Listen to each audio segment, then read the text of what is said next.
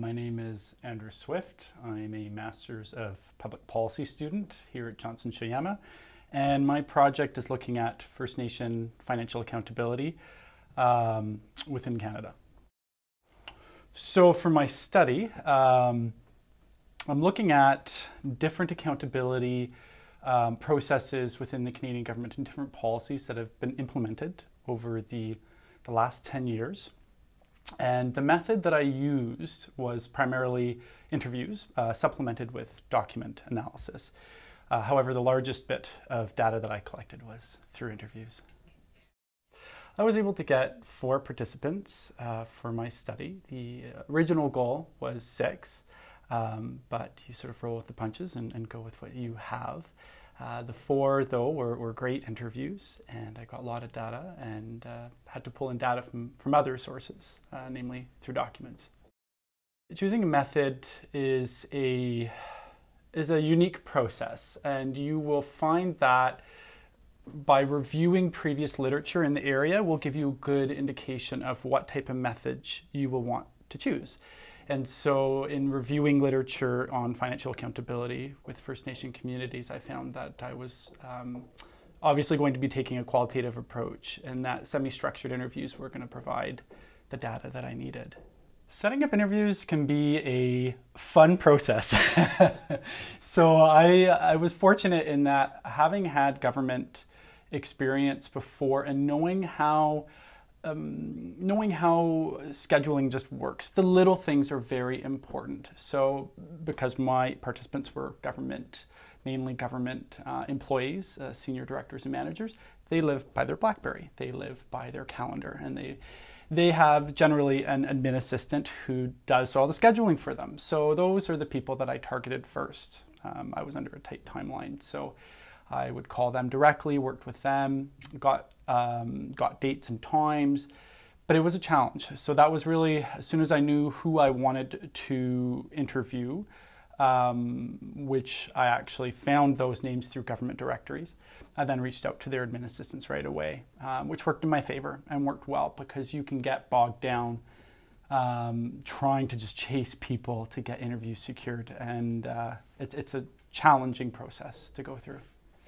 Preparing for interviews is a very vital step. In fact, I would say beyond just interviews, you know, in your entire research process through developing your proposal, that is the backbone.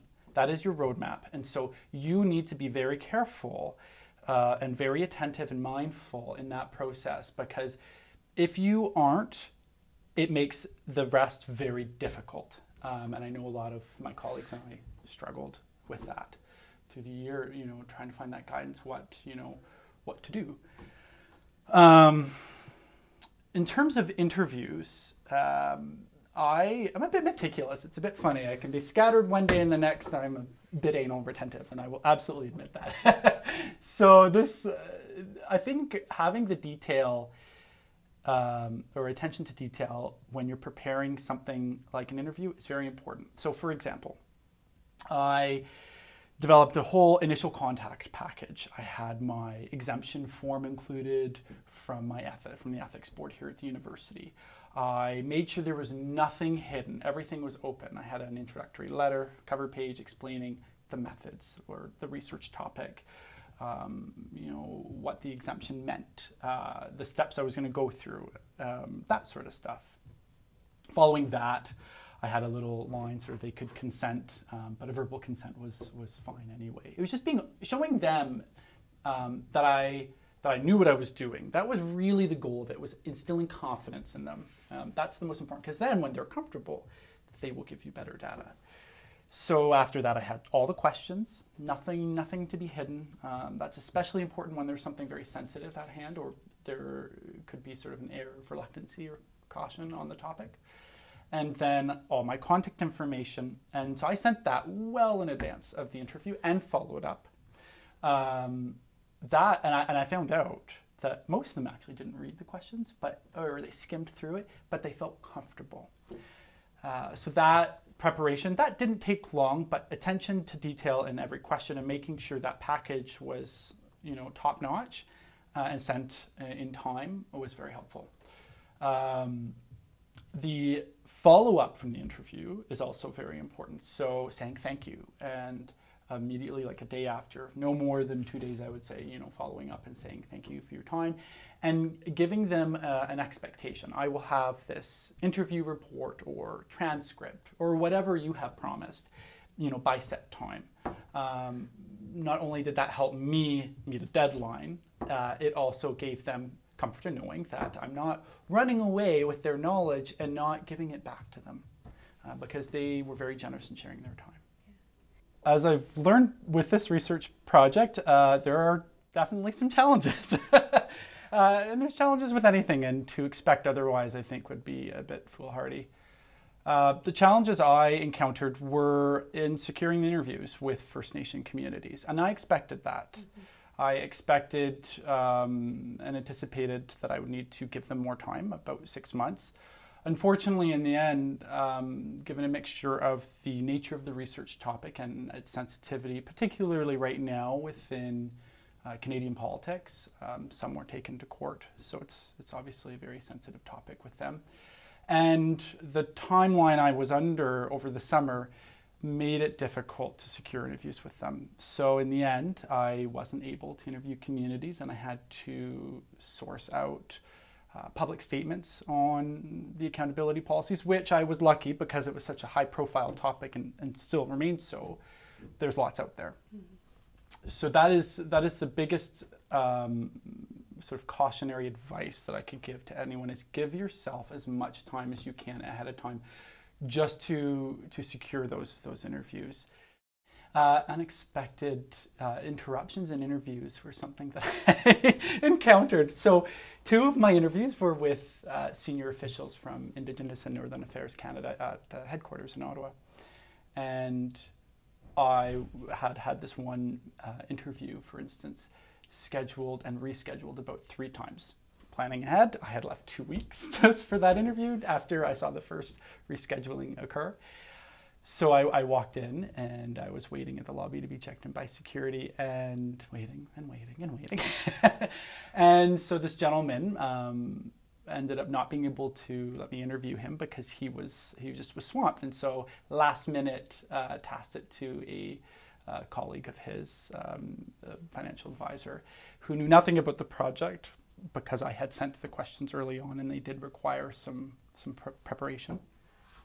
And so managing that was a challenge. Uh, you had to take, or I had to take some time to catch them up on what the research project was and really establishing a relationship because I had already established a relationship by email or by phone.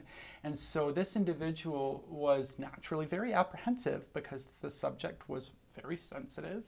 Um, you know, they were in charge of a very controversial and remains a very controversial piece of legislation. And so little things like even asking for an audio recording, uh, they got their backup. Mm-hmm. And I learned very quickly um, that I had to really spend more time to sort of establish a very comfortable space. I had assumed that they knew or that they had read these these questions and so, uh, unfortunately, I wasn't able to get an audio recording of the interview because they weren't comfortable, which just meant I was a little bit more disengaged from the questioning because I was trying to record everything at the same time. And that, that, is, a, that is a challenge and a skill that I'm not quite good at. Making sure that you have the right data or enough data uh, is an ongoing process. It's the question is when do I stop? When do I have enough?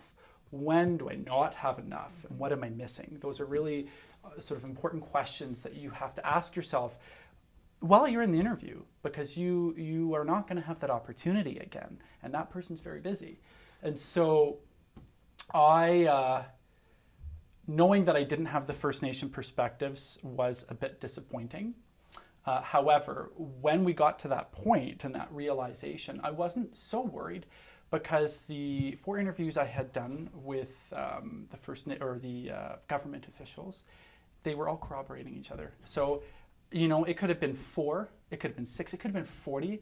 And I was comfortable that after four, I was only going to keep hearing the same information. So it was, in a sense, theoretical saturation A fancy term I learned the other day. I was all very happy. Uh, but it really was that in, in its, you know, in that sense. Um, because I, there were obviously some minor differences or variations on, on the same story, but it was just an incredible amount of detail, particularly from the regional perspectives, those on the ground and the operational side. But they all corroborate each other. So I thought, well, let's see how this works with some of the documents that I'm pulling on the First Nation side. And and they work. They were all they've all been validating each other. They've all been bouncing off each other. There really hasn't been anything ground shaking um, or you know earth shatteringly new. So that at that point, um, this is just recently, I felt comfortable. I thought, okay, well, this validates my my methods. I'm, I'm getting the correct information, and they're all validating each other something I learned. this is a personal bit. It's important. I, I struggle with uh, interrupting people, and I struggle with communication in my personal and and you know professional and academic relationships. I am ex- an excitable personality. Listening to those interviews and transcribing those interviews, um, in some instances, I almost wanted to cry because it was it was a hard wake up call. Um, to have your insecurities of thinking you talk too much or whatever right in front of you and display. And I think that's important. So if you can take the time beforehand and maybe record a conversation with a friend and see how you interact, because I realized after I cut off uh, a couple people in the first the first interview, I cut off that individual quite a few times, and that what that says to that person and was glaringly obvious to me was what you have to say is not so important it's what I have to say is more important. I didn't realize the power of that or what that how that came across until I listened to that. I've heard it, I knew it, but I didn't understand it. And really take the time to sit down and role play. Sit with some friends and interview them with your questions ahead of time, I think, and record it. And then stop and listen to it and say, okay, what can I learn from this before I do the real thing? That's, a, uh, that's something I really learned.